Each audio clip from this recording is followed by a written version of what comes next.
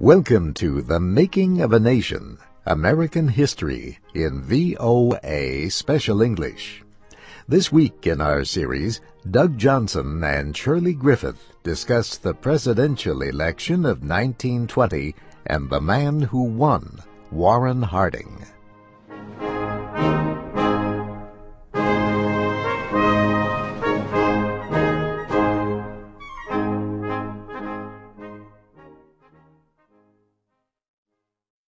The presidential election of 1920 was a turning point in American politics. It ended a period of social reforms at home and an active foreign policy. It began a period of conservative thinking in both the political and social life of the nation. American reporter H. L. Mencken described the national feeling this way. The majority of Americans are tired of idealism.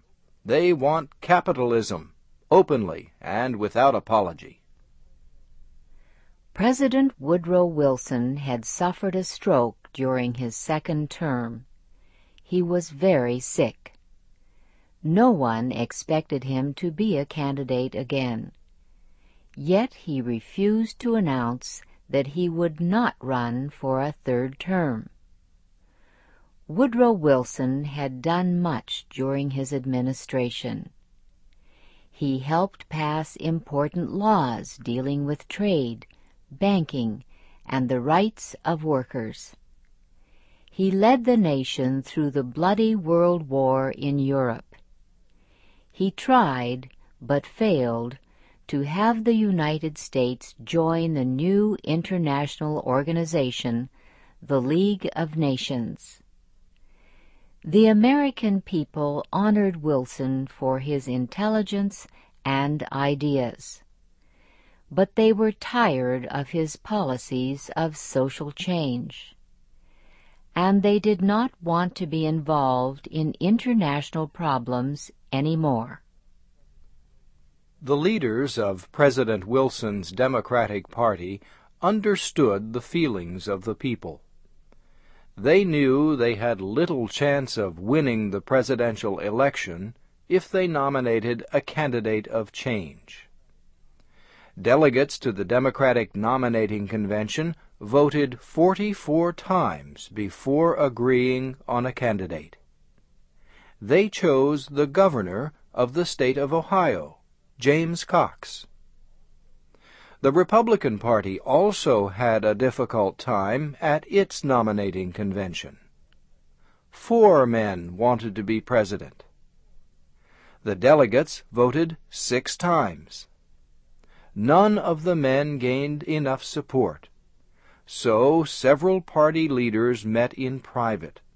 They agreed that only one man, a compromise candidate, could win the support of the convention.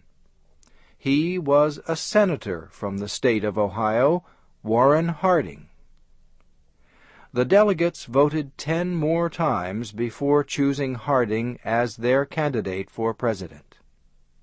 For vice president, they chose Calvin Coolidge of Massachusetts.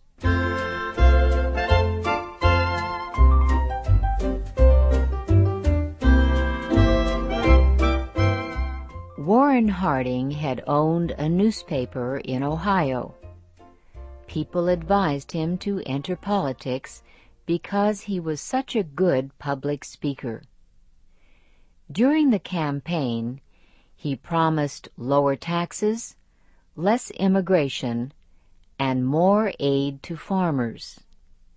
He called for normalcy, a new period of peace and quiet with few changes. That is what the voters wanted to hear in 1920. Warren Harding won the election with 68% of the popular vote. In his first act as president, he invited people to visit the White House. He permitted them to walk in the garden. The act was a sign the government seemed to be returning to the people. Warren Harding is remembered mostly for two events. One was a successful international conference. The other was a shameful national incident. After World War I, Britain, Japan, and the United States expanded their navies. They built bigger and better ships. Many members of the United States Congress worried about the cost. They also worried about increased political tension in Asia. They asked President Harding to organize a conference to discuss these issues. The conference was held in Washington in November 1921.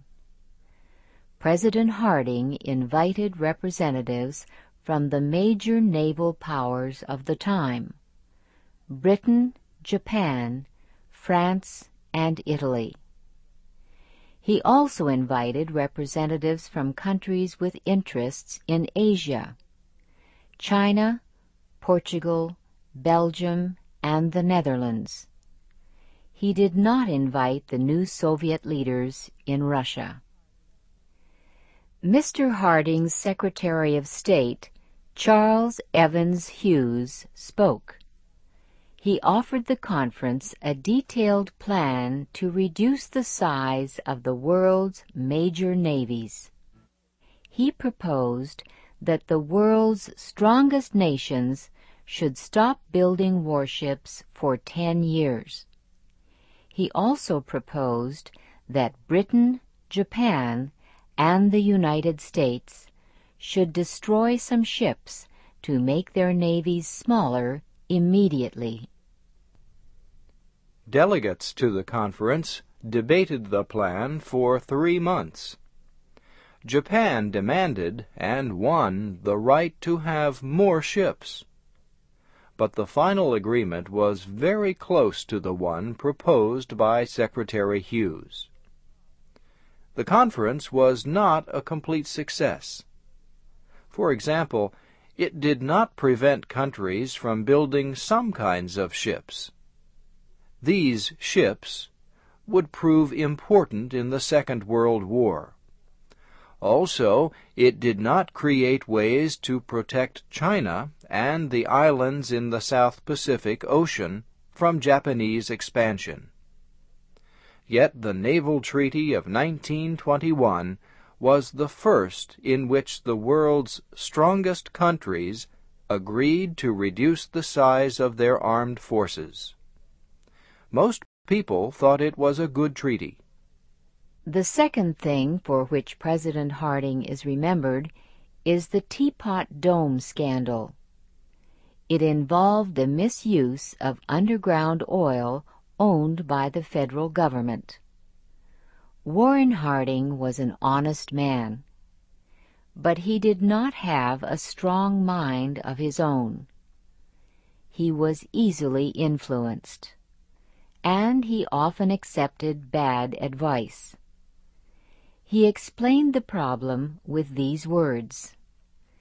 I listen to one side, and they seem right.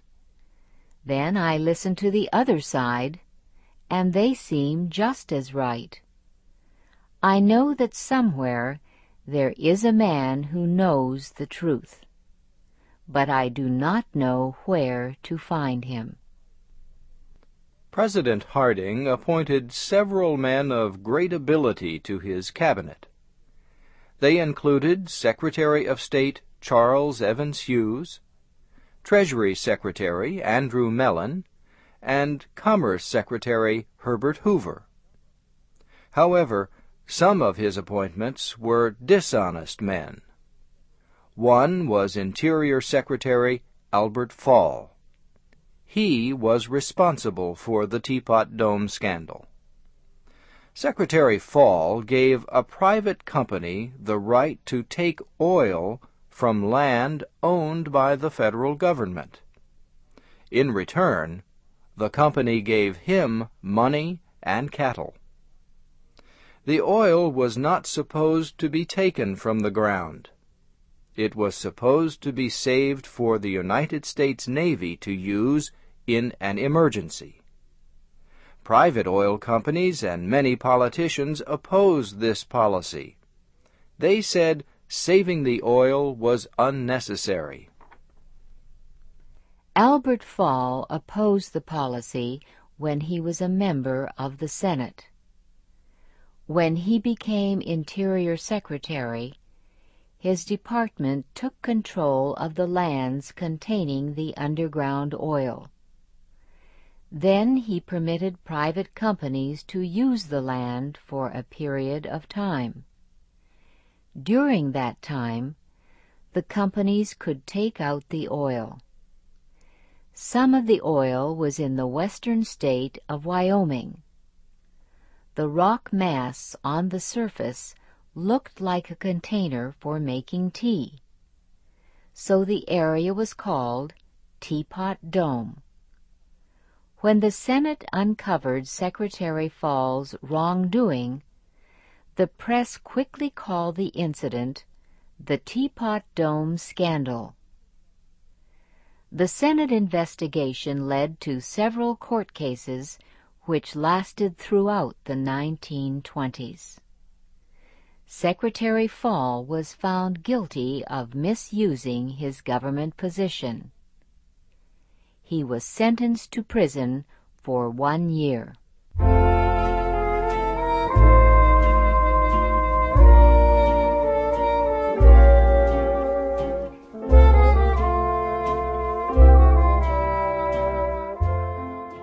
President Harding did not live to see the end of the Teapot Dome incident.